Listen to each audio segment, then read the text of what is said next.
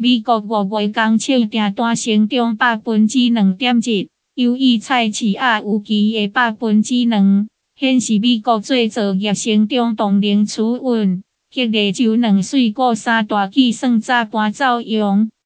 美国商务部公布，五月工厂订单成长百分之两点一，四月数据嘛由原估的成长百分之一千收至一点三。显示伫汽车热销、房市成长等强劲内需带动的，抵消了出口菜市仔批软对美国经济的影响。